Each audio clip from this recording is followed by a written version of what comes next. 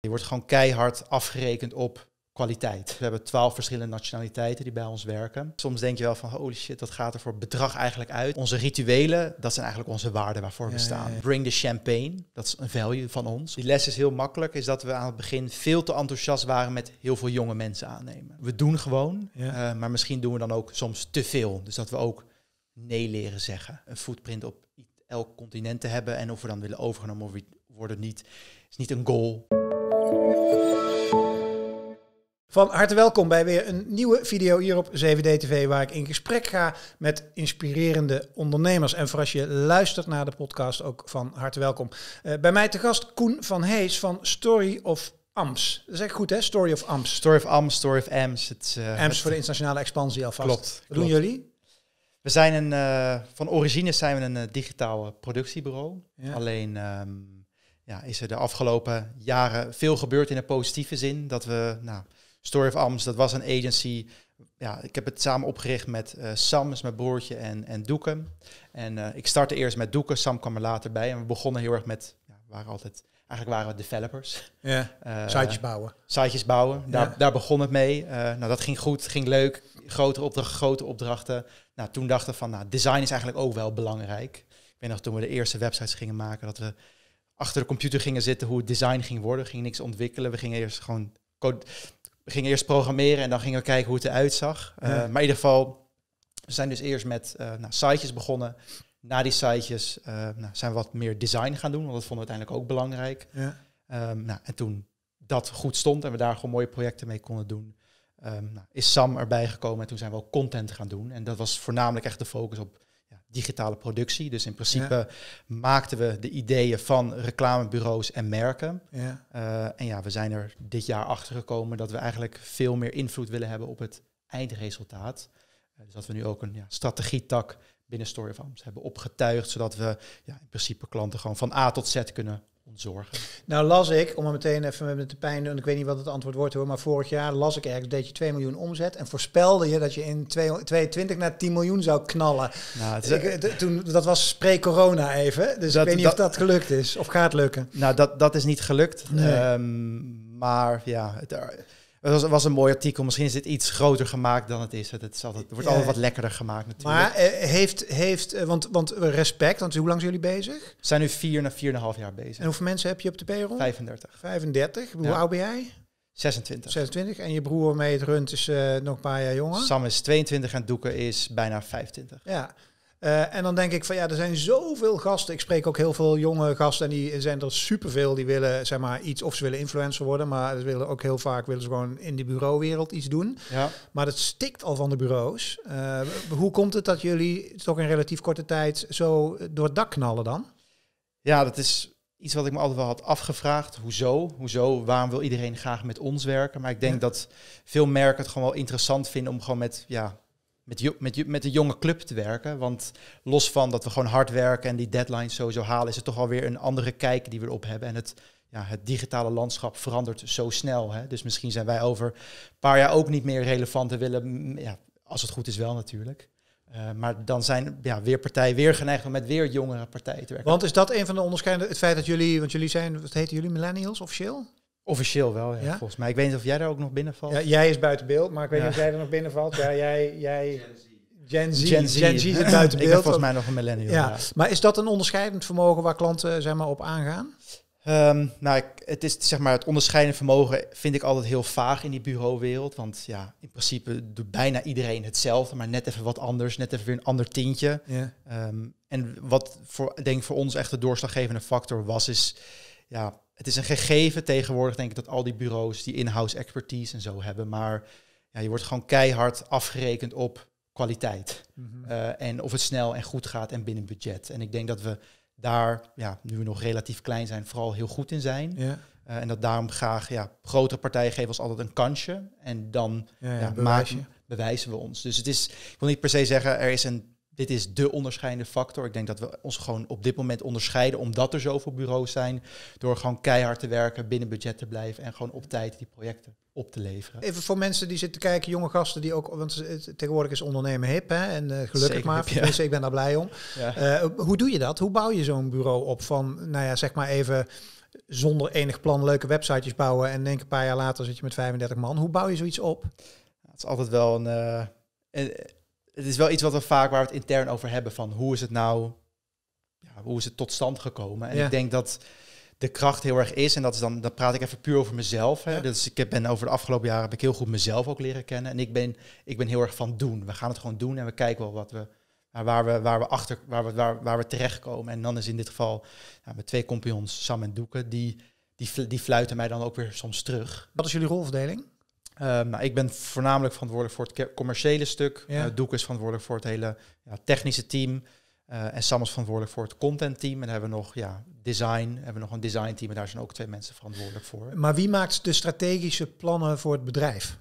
Dat zijn wij drie gewoon. Dat zeggen, en hoe doe je dat? Ja, hoe, hoe, hoe we dat doen. Ik denk dat we gewoon dromen hebben. Ja. Uh, en dat we proberen gewoon kleine doelen te stellen. En dan gaan we daar kijken hoe we daar hoe we daar gaan komen. Dus binnen die grote droom. Binnen die grote En dat was, uh, naar ik goed begrepen, wat was die grootste droom? Nou, de grootste droom is dat we een agency worden met gewoon een footprint op elk continent. Uh, en hoeveel mensen, dat maakt me niet heel veel uit als ze maar gewoon ja, impactvol werk kunnen maken. Maar dat is ja, dat is de ultieme droom om daar naartoe te werken. En zo proberen we ja, eigenlijk elk kwartaal, elke maand gewoon kleine stapjes te zetten daar naartoe. Om het niet, ja, als je zegt ineens van we gaan dit jaar met 100, 100 man groeien, dat is gewoon niet, niet te doen. Je moet gewoon ja, klein wij zetten gewoon hele kleine, hele kleine stapjes en goals van deze maand willen dit en dit gaan bereiken. Kijken hoe we er komen. Aan het eind van de maand kijken we wel of het is gelukt of niet. En als het niet is gelukt, zetten we weer de volgende maand uh, ja, weer nieuwe goals. Um, ik ken, ik ken, een, de, ken de bureauwereld een beetje. En een van de grote, ik weet niet of dat voor jullie een voorbeeld is, is Media Monks. Is dat dan een, een, inmiddels ook gasten die op jullie leeftijd zijn begonnen? Uh, die zijn inmiddels zijn oude lullen eigenlijk al. Maar die, als je nou hebt over een global footprint, dan hebben ze dat aardig voor elkaar. Uh, ook gefocust op productie. Ja. Uh, is dat een voorbeeld voor jullie of doen jullie niet aan voorbeelden? Ja, ik, ik denk dat het heel um, makkelijk is om een voorbeeld te hebben, want dan ga je aan vergelijken. En ik merkte, we merkten dat dat eigenlijk ook niet goed was. Dus we proberen, we kijken nu eigenlijk bijna niet naar bureaus, maar het is wel, zeg maar, als je naar het bedrijf aan zich kijkt, is het wel gewoon gaaf wat ze hebben neergezet. Um, wat ze nou precies doen, vind ik, heel, vind ik heel moeilijk te zeggen. Want inderdaad, digitaal productie, en dat zijn we ook van origine. Maar ja, stiekem doe je wel al die strategieën en dingen. Ja, en wij zeggen van, nou, we gaan het nu wel gewoon echt op de website zetten dat dit een service van ons is en dat we dat, ja, dat we klanten van A tot Z kunnen ontzorgen. Dus om, ja, om de vraag te beantwoorden, het is zeker een voorbeeld, uh, maar ja, we zijn wel echt gefocust op onszelf en wat we zelf vinden dat goed is. Is het ook een risico wat jij nu schetst over strategie, dat je straks de focus verliest en dat je te breed wordt en te generalistisch en dat je juist dat onderscheidende vermogen verliest van wij doen productie en, en knettergoed? Ja, het is denk ik ja, het is learn by doing, denk ik, is het antwoord. We komen er wel achter. We doen het gewoon en we komen erachter of het, gaat, of het lukt of niet. En als het niet lukt, ja, zo so be it. Is de impact van COVID-19 groot op jullie bureau? De eerste maanden was het zeker groot. Ja. Uh, ik denk dat we hadden veel klanten die in uh, ja, hospitality, slash horeca zitten. En ja, daar komt, geen, daar komt geen omzet meer vandaan. Dus dan is het heel moeilijk. En dan ja, zijn de budgetten die zijn vrijgemaakt, dat, is, dat is allemaal weg. Ja. Uh, dus dat was wel even, even slikken. Dat was, uh, volgens mij was het in maart. En het grappige was is dat we een week voordat Nederland op lockdown ging, zaten wij in Amerika. Uh, waren we bezig ja, met pitches en projecten voor gaven die we waren. We wilden er zo graag naartoe. Nou, daar zit nu een dikke vette rode oh. streep doorheen natuurlijk. Um, maar toen we terugkwamen, nou, toen was, toen was het volgens mij de dag daarna was alles in lockdown. Toen allemaal belletjes. En toen dacht ik van holy shit, wat gebeurt er nu? Wat moeten we nu doen? Mm. Dus het was, ja, de eerste maand was het heel onwennig. Want ja, je bent niet om te gaan, je bent niet, je gaat niet ondernemen om, om dit soort situaties mee, mee te maken eigenlijk. Dus dat was, het, was wel, het was gewoon moeilijk. En ja, we zagen dat die, ja, die maand maart, dat was een moeilijke maand. Maar dan het mooie moment is dat we in april um, ja, hebben we gedaan, hebben we bekeken van oké, wat gaan we nu doen? Mm. Uh, hoe, gaan we, hoe gaan we deze deze ja, crisis te lijf. Uh, dus dat was het een, uh, ja, in de war room te bedenken, plannen te bedenken. Hoe gaan we, hoe gaan we, hier, hoe gaan we hier uitkomen? Nou, long story short, toen waren we, eh, zijn we uiteindelijk, nou, iemand die bij ons werkt, Margot, zij komt uit Nieuw-Zeeland. Nou, via haar zijn we dus in een netwerk in Nieuw-Zeeland gekomen en hebben op de grootste opdracht ooit voor ons gepitcht. En die hadden toen in april binnengehaald. Ja, serieus. Geweldig. Dus dat was, ja, dat was mooi, omdat we, en dat is misschien nog een klein inhaakje op dit onderscheidende factor, is dat we Ja. ook heel erg op cultuur inspelen. Dus we hebben twaalf verschillende nationaliteiten die bij ons werken. En dan is het wel leuk dat tijdens die hele COVID-periode dat dat toch wel zijn vruchten heeft afgeworpen. Want we hebben gewoon, ja, zijn in verschillende netwerkjes gaan kijken. Nederland was echt, echt paniek. Ja. Ehm, maar Nieuw-Zeeland was iedereen wat, ja, wat coulanter en was iedereen, waren ze nog wel open om te gaan investeren. Dus dat, dat is daar toch wel dan een, een highlight. Dus maart was echt... Maar die opdrachtgever zit in Zeeland. Is ook echt een... Nee, Nieuw, Nieuw-Zeeland. Of Nieuw-Zeeland. Ja, Dus dat bedoel is ik. eh, Ja, acht, ja. acht uur tijdsvers, eh, Ja, ja. acht Werkt dat? Elf uur is- tijdsverschil. dus die zie je nooit fysiek. Nog nooit fysiek gezien. Ik heb vanof- toevallig hiervoor nog even een call gehad. Dus je spreek je 11 uur in de ochtend, dan is het daar 10 uur s'avonds. Eh en dat, ja, dat werkt tot nu toe prima. Hey, want laat eens even wat, wat de revue passeren van wat is het werk, wat, hè, qua klanten, wat is het soort werk wat je doet? Maak eens concreet. Dan halen er eens wat pareltjes uit. Ja, dus ik denk dat, eh nou, twee paaltjes denk ik dat we, eh, Lucas Bols, dus daar doen we, ja, zijn we digital partner van. Dus daar doen we ja, alles omtrent website en content helpen we daarbij. Ehm, daar begonnen we heel erg met digitale productie. Dus daar, waren we, ja, dan zijn we gewoon de, de digital production partner. Dus hebben ze een nieuwe website nodig, hebben ze een nieuw eh platformpje nodig, een nieuw e-commerce platformpje. Want Bols heeft dus heel veel sublabels, dus daar doen we dan ook allemaal verschillende dingen voor. Ja. Ehm, ja, en het content team doet er dan ook producties voor. Dus dan maak je een website. Er zijn ook video's voor nodig of foto's en dat soort dingen. En dat doe je dan allemaal gemakkelijk in-house. Ehm, en dan is Intersport is nog zo'n klant. Ze hebben dan ook digital partner. En ja, daar doen we dan ook gewoon alle digitale producties voor. Dus het zijn, het zijn zoveel verschillende projecten als je zeg maar zo'n partner bent van zo'n zo'n mega grote partij. Dus dat het, Ja. ja, dat zijn van, eh, van apps, van websites tot, ja, tot, tot e-commerce oplossingen. Dus het, is, het is heel divers. Ik denk dat we Maar heb je ook grenzen? Heb je ook dingen waarvan je zegt, dat doe je niet? Doe je bijvoorbeeld, als gaat dan weet ik veel, hele campagnes draaien, social media dingen. eh, liggen Ja, dus voorheen waren we dus echt gewoon puur de fabriek, Ja. om het zo maar te noemen. Ja. De klant heeft een wens, wij bouwen het zo goed mogelijk, zo snel mogelijk. ja? Ehm, maar ja, we wilden dus gewoon graag wat meer invloed hebben op het eindresultaat. Eh, en daarnaast concurreer je vaak, vaak met digitale productie op prijs. Eh, dus wie is het goedkoopst en het best? Eh, en dat vonden we ook gewoon heel moeilijk. Want ja, ga je heel erg in budgetten snijden, dan kan je ook niet, dan, dan wordt het niet meer heel goed of heel. Dus dat waren gewoon een paar knelpunten voor ons dat we dachten van nou, dat, dat willen we anders. Eh, dus we willen meer invloed hebben op het eindproduct. Dus ja, strategie stuk Ja. erbij pakken. Eh, en dat mensen ons zien gewoon ja, echt als een bureau, dus echt als een partner. Eh, en dat we dan ja, eigenlijk we willen we, de focus is meer dat we gewoon accounts hebben en we helpen de klanten gewoon met ja, de, de, de, de vraagstukken die ze hebben op digitaal gebied. En daar proberen dan oplossingen voor. En te businessmodel is uurtje factuurtje. Even heel plat Het geslagen. businessmodel is uurtje factuurtje, maar ehm, ja, we hebben wel gewoon contracten met klanten. Dus we weten wel ongeveer waar we op kunnen rekenen. En het doel is wel dat we volgend jaar ja, gewoon x aantal accounts hebben eh, van grote partijen.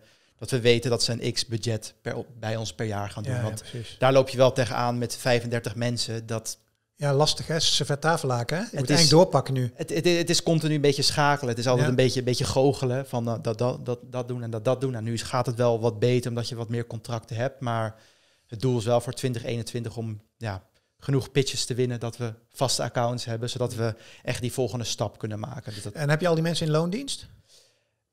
volgens mij zijn er 32 in loondienst en drie daarvan zijn, zijn freelance. Dat is ook een bewuste keuze. Je wil echt je eigen team opbouwen. En, eh, Ja, to- toen we begonnen eh, met, met ondernemen, werkten we met alleen maar freelancers. Ja. Dat vonden we ja, een prettige, flexibele schil. Maar we zagen wel, ja, wil je mensen aan je binden, is een contract toch best wel fijn. En dan, ja, Hoe eng is dat om, eh, om uiteindelijk zeg maar, die, om kantoor te huren, mensen aan te nemen, je vaste kosten? Dat, eh, dat, eh, ja is dat- hoe is dat gegaan? hoe, hoe meer het wordt, hoe spannender het wordt. Soms denk je wel van, holy shit, dat gaat er voor bedrag eigenlijk uit. Maar Ja. ja, je weet ook van, nou, dit bedrag, daar kan iedereen eh, zijn eten mee kopen, zijn huur betalen, zijn familie, et cetera, et cetera. Maar ik weet nog precies een moment dat we de eerste keer een contract gingen tekenen. Volgens mij was dat, dat was ook echt twee jaar geleden, dus ook heel recent. Dat vond ik heel spannend. Ja. Dat was denk ik van, oh, oh, we moeten gewoon iemand elke maand dit bedrag betalen. En je, je verkijkt je er ook op in Nederland. Dan spreek je natuurlijk een bruto bedrag af, maar daar komen nog heel veel sociale premies en dat soort dingen en ondergein allemaal bovenop. Dus dat, uh, dan schrik je soms ook wel van. Dan denk je van, iemand krijgt dat bruto bedrag, oh, dan komt dat ook nog bovenop. Had jij, uh, hebben jullie een soort van adviesclub om je heen of zo? Of hoe, hoe doe je dat? Waar haal jij je coaching of uh, je... Ja, het is, het is, eigenlijk heel makkelijk. Als onze vader die geeft ons wel, uh, wel advies, want hij heeft vroeger zelf een bureau gehad. Dus, dat, dat, dus die heeft al aan het begin heel erg veel geholpen met al die kleine dingetjes. En in dit geval, ja, Doekes vader, die heeft ook aan het begin ook geholpen. Maar ja, toen we een beetje die basis hadden staan, dan werd dat wel wat meer losgelaten. en nu, ja, ik denk gewoon nu met hele moeilijke vraagstukken bel ik mijn pa nog wel eens. Maar uh, het meeste kunnen we intern, uh, kunnen intern afhandelen. En heb je al zelf gefinancierd? Zijn jullie, want wie zijn de aandeelhouders? Um, nou, Doek en ik, dus we hebben eigenlijk, het zijn zeg maar twee, twee, twee BV's, zeg maar. Story of Ams is daar, daar zit al, valt al het design en development onder. Ja. En we hebben de studio's BV en dat, daar zitten Sam, Doek en ik in.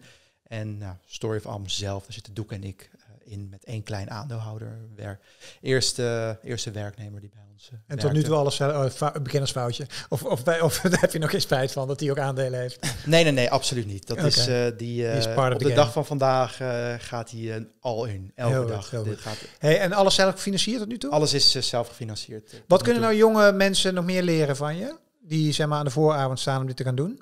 Um, Doen eens wat dingen als je terugkijkt en denk oh kut, dat ging fout jongen. Of dat hebben we niet moeten doen. Of is denk ik een hele.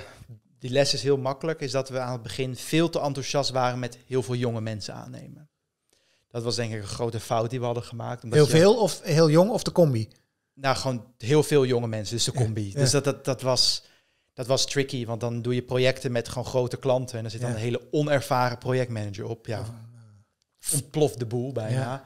Nou, dan moeten Doek en ik uh, heel hard inspringen. Dus dat, dat, dat ging niet. Dus dat was echt een wijze les dat we nou, ook wel niet bang zijn om te investeren in senioriteit, want dat betaalt ze gewoon terug. Dat ja. ontzorgt enorm. En dat was ja, een grote learning. Ik denk een andere learning is, nou ook, we zijn, we zijn echt gewoon, do, we doen gewoon, ja. uh, maar misschien doen we dan ook soms te veel. Dus dat we ook nee leren zeggen. Ik denk dat we daar, um, ja, dat we daar ook nog niet, zijn we nu wel beter in, maar voorheen waren, zeiden we gewoon tegen alles ja, let's do it, gaan het gewoon doen. Uh, maar ik denk die keuze, dus dat we soms misschien nog iets meer nadenken voordat we echt iets gaan doen. Ja. Um, vroeger was ja, we, we, we, deden maar gewoon. Ja, ja hoort ook bij jonge honden toch? Tuurlijk, het hoort erbij. Ja. Maar je ziet dan achteraf, denk je van, nou, was het handig of niet? Maar in die end heeft het ons gebracht waar we nu zijn natuurlijk. Ja. Hey, en, en jullie zijn ook, uh, ze de bekende uitspraak, elk bedrijf is een mediabedrijf vandaag de dag. Daar zijn jullie ook wel actief mee. Ik zie tenminste, ik ben nog even de lijn aan het zoeken, maar ik zag een YouTube kanaal van jou. En ik lees dat jullie, dat jullie eigen podcaststudiootje op kantoor hebben. Wat doen jullie op dat vlak? We zijn wel uh, actief online. Uh, ik ben een hele erg, ja, ik geloof gewoon heel erg in een merk bouwen. En ja. er zijn heel veel manieren natuurlijk om een merk te bouwen. Vroeger was het zoveel mogelijk uh, advertentiebudget op tv en op de krant en radio. Ja.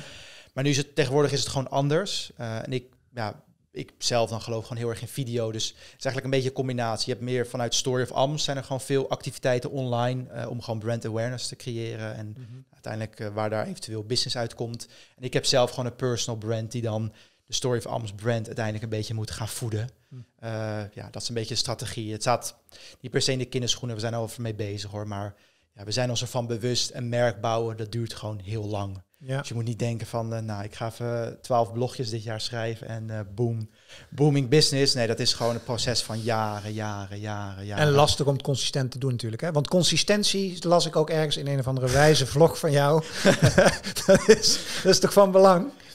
Consistentie is heel belangrijk. Iets, maar het is ook heel moeilijk om ja. iets consistent continu te doen. En ik wil niet zeggen dat ik dat altijd perfect doe. Ja. Um, maar dat is wel heel belangrijk. En ja betrap me er zelf vaak genoeg of dat het, niet, dat het soms niet lukt. Um, maar in die end ben ik wel over het algemeen redelijk consistent. En dat werpt dan wel zijn vruchten af. Hetzelfde met YouTube. Ja, dan begon je dan met één vlog. Dan heb je nul subscribers. Nou, doe je het meer en meer en meer. Volgens mij zijn nu bijna 800. Is nog steeds drie keer niks. Maar ja, ja. het is wel consistentie. Ja. Uh, wat, wat dan zo'n resultaat uh, bewerkstelligt. Dus consistentie is belangrijk. Maar wees niet te hard voor jezelf. Als het soms een keer niet lukt. Ja. Hey, en nog twee onderwerpjes. Uh, personeel, uh, medewerkers, collega's, whatever. Die moeten gemanaged worden of zo. Of, de, de, doen jullie dat echt anders? Ik vraag me dat serieus af. Hè, van, Ik heb ook een bureau gehad. Ik had ook 80 man op een gegeven moment op de payroll staan. En we waren toen ook jong en hip en zo allemaal. Ik vraag me af of wij dat toen, of jullie dat nu anders doen dan dat wij dat doen. Hoe beschrijf jij dat? Die, die cultuur, laat jij mensen heel erg vrij? Hoe werkt dat? Heb je de vakantiedagen? Nou, ik denk dat sowieso is het vandaag vandaag, dat wil ik niet zeggen, maar is platte structuur heel, heel normaal dan in Nederland. Uh, dus dat hebben we sowieso. Ik denk dat we, dat is misschien een leuk, ja, dat toen ik 19 was, uh, had ik een, heb ik een hospitality stage in Amerika gedaan. Uh, daar heb ik heel veel geleerd, heb ik heel veel verantwoordelijkheid gekregen. Het was een groot corporate bedrijf en die hadden zeg maar hun company core values op de, de muur geschreven. En dat was dan integrity, was het en respect en nog een paar. En zat altijd zo naar te kijken, maar wat betekent dat nou? Ja. Ik snapte er niet zoveel van. Ik, ik dacht van, nou, ik zie, ik zie nergens respect of ik zie nergens integrity. Nou, ik heb uiteindelijk dat jaar de stage gelopen. Toen was ik terug naar Nederland gegaan en toen was ik begonnen met ondernemen. Maar het zat me wel aan het denken van, nou, het was toch wel een plek waar soms niet mensen graag naartoe wilden. Er was altijd veel gedoe, gezeur. En nou, toen zijn we, ben ik gewoon heel erg gaan inlezen in cultuur. Wat betekent dat nou? Hè? Mhm. Eh, cultuur kan goed zijn, kan slecht zijn. Het kan eigenlijk een cult worden, of het dan goed is of niet is. Los daarvan zijn bedrijven eigenlijk een soort van een soort eigen cult, bij, bijna wel. Ja. Ehm, en toen, toen ik daar bewust van was, dacht ik van oké, hoe gaan we dit binnen ons bedrijf zetten? Dus vanaf dag één was het wel belangrijk dat we gewoon een plek willen creëren waar mensen gewoon graag naartoe komen. En mhm. een cultuur is nooit af. Het is altijd iets wat ja, zich. Het is altijd iets wat je elke maand even naar moet bekijken van wordt het nageleefd. En we zitten toevallig nu in dat proces dat we nu alles weer op zijn kop gooien. Dat we nu alles weer opnieuw gaan doen. Mm dus hebben bijvoorbeeld, je hebt allemaal van die standard values, respect en integrity. Maar ik ga één, één value geven waarmee we op, die we hadden bedacht, is bring the champagne. Dat is een value van ons, omdat het... Bring the champagne? Dat is een value en daar, daar is dan bedrag, daar valt dan weer gedrag onder. Dus always bring your A-game. Ehm, en dat we ook successen met elkaar vieren. Ja, ja, ja. Uh, en we hebben ook altijd, ik heb ze toevallig vandaag, vandaag niet aan, um, nou, bijvoorbeeld dan respect the socks. Dus we hebben elk jaar maken we speciale Story of Am sokken van dat jaar. dus als je ja, bij ons al vier jaar werkt, dan heb je, dan heb je al die verschillende versies. Dus allemaal dat soort dingetjes proberen we te bedenken. En dat, dat werkt wel. Dus we hadden eerst gewoon wat van die standaard values, uh, bold en dat soort dingen. Maar we willen nu eigenlijk onze rituelen, dat zijn eigenlijk onze waarden waarvoor we staan. Dus, en het is ja, en we merken dat dat wel leuk is. Dus het, het is een ongoing proces. Het is nooit af, uh, maar het is wel super belangrijk. Want hoe groter je wordt, dan komen ook, ja, we hadden volgens mij een interview met een developer die een hoge functie bij Airbnb had. En de eerste waar hij naar vroeg is, wat zijn jullie values? Ja. dat is heel leuk. Ik ben nu een boek aan het lezen van Facebook. Ik weet niet of je gelezen hebt. Anders moet je het absoluut doen. Het is van een journalist die echt inzage heeft. Heeft zeven keer met uh, Zuckerberg geloof gesproken. Heeft alle grote... Het is echt van Insight. Uh, die had ook een van hun rules was uh, go fast and break things. Die ja, hebben hun code development technologie was echt jongens code kloppen en live en gaan met die bananen. En het is heel leuk om te zien in dat boek hoe uh, Mark Zuckerberg loopt te kloten eigenlijk met die cultuur naarmate dat bedrijf natuurlijk zo gigantisch groot wordt. Het is een super boek om te lezen als het gaat om, uh, om cultuur. Uh, dat was mijn bruggetje naar mijn slotvraag, want dan zit je s'avonds zo, weet ik veel wanneer, zit je die champagne te drinken met een paar man, zo kernteampje en dan denk je, ah joh, weet je, over vijf jaar dan. Is dat dan uh, en dan heb je in de, in de bedrijfs heb je vaak twee routes. Hè. Eén, dan zijn wij zelfstandig super groot.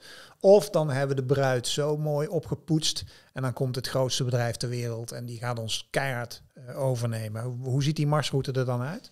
Um, nou, ik denk dat we, we zaten vroeger gewoon altijd van willen de allergrootste, allergrootste worden. Ja, de grootste en de beste heb ik gelezen. De grootste en de best, beste, maar hoe meer, hoe groter je wordt, hoe meer je naar cijfers gaat kijken. Dus ja. uiteindelijk naar ja, je winstmarge en dat soort dingen gaan kijken. Dus het maakt niet uit hoe groot we worden. Ik denk meer dat de goals meer, we willen gewoon een footprint op elk continent. En of je dat met 100 of 200 mensen bent, maar als het maar een gezond bedrijf is. Ik denk dat dat heel belangrijk is. Dat ja, dat, dat, dat is denk ik het belangrijkste. Dat ja, de winstmarge en dat soort dingen gewoon goed zijn. Dus dat was iets nieuws, want het was altijd gewoon gaan, gaan, gaan, gaan, gaan. En we zijn er na dit jaar echt, nou, echt heel diep in gaan kijken van hoe zit dat nou precies.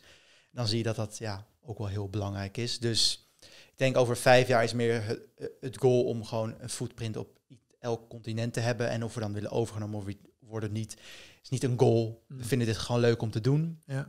En uh, als, het, uh, als iemand aan de deur klopt, uh, dan kijken we, bekijken we dat dan wel. Maar het is, niet, het is niet een doel op zich. Het is meer, we willen gewoon een gaaf bedrijf bouwen, heel mooi werk, bouwen, heel mooi, mooi werk maken, mooie verhalen vertellen voor onze klanten. En dat gewoon goede ideeën bedenken en die ook goed uitvoeren met gewoon leuke mensen. Ik denk dat dat, dat is nummer één. En alles ja, wat, daar, wat daarbij gebeurt, dat, is, dat, dat zien we wel.